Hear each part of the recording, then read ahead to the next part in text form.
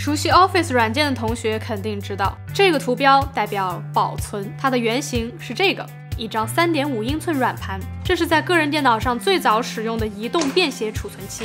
在光盘和 U 盘出来之后，三点五英寸软盘很快就消失了，剩下这个图标沿用至今。今天我想聊的东西跟三点五英寸软盘一样，也是一个需要翻箱底很久才能有点印象的东西。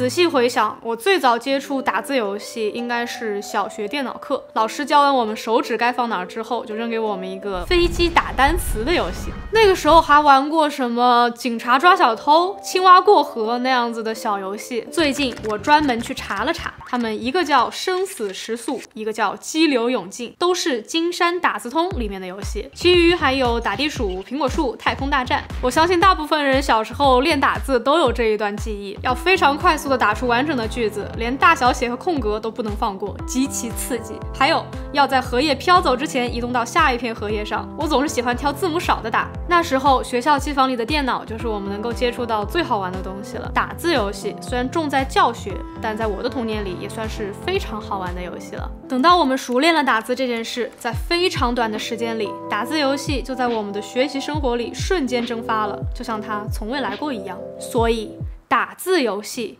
去哪儿了？简单搜索后发现，金山打字通直到二零一六年都还在更新，但五个打字游戏内容完全没变。我向正在当老师的粉丝朋友大狗子咨询了一下，他告诉我，现在的小同学还是用的金山打字通练习打字。好家伙！竟然还能零代沟！最早的打字游戏其实不怎么像游戏，更多的是一种教育软件，寓教于乐的让小孩子练习打字。放眼世界，英语世界也出现过像海绵宝宝学打字这样的游戏，任天堂甚至还授权过一个 Mario Teaches Typing 这样的打字游戏，非常粗糙。九几年的任天堂还没把 IP 当个宝，还能授权出这样的东西呢？这也算是少数你能在 PC 上玩到的官方马里奥游戏了，只不过是 DOS 系统的。不过随着电脑越来越便宜，越来越常见，有些东西还是变了。现在有了智能手机，青蛙过河哪有王者荣耀好玩？在以前，警察抓小偷这样的游戏都能算得上是饱含游戏设计感的优秀互动娱乐作品了。打字游戏也确实曾经辉煌过。故事还要从街机厅说起。只要你去过任何一家街机厅，你十有八九玩过这个游戏《死亡鬼屋》，世嘉的光枪射击游戏，在众多的光枪射击游戏里面也相当的有名。后来还移植到了其他的平台，今年还刚刚公布了要在 Switch 上重置，玩法非常浅显易懂，拿枪打僵尸，挺好玩的。但是世嘉天才的开发者并不满足，觉得用枪来打僵尸实在是太不酷了。那么还有什么武器比枪更加牛逼呢？当然就是键盘啦！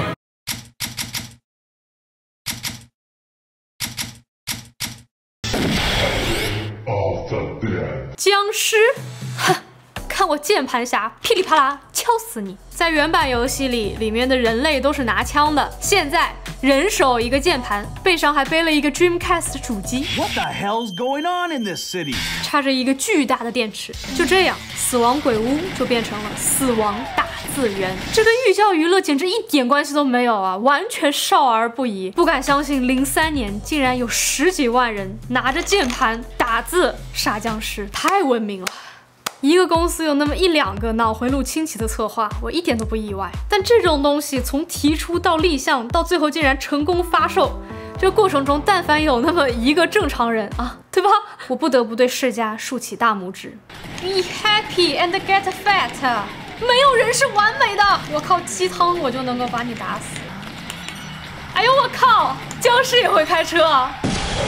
死亡打字员改编自《死亡鬼屋二》，最早是一九九九年出在世嘉的 Naomi 街机上的，直接就在街机上摆了两个大键盘，谁要去街机厅投币练打字？直到后来移植到了 Dreamcast，又移植到了 PC，才获得了一些商业上的成功。后来甚至还出了续作《死亡打字员二》和《死亡打字员 Overkill》，再然后。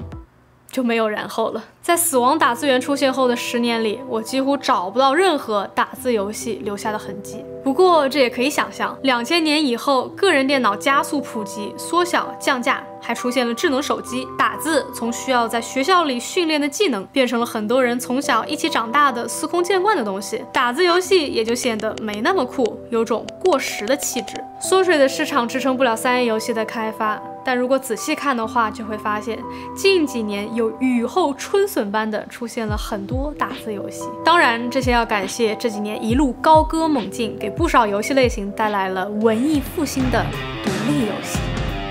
如果不去专门了解的话，肯定不会知道近几年推出了这么多结合了打字玩法的独立游戏。更让我意外的是，他们当中的相当一部分非常好玩。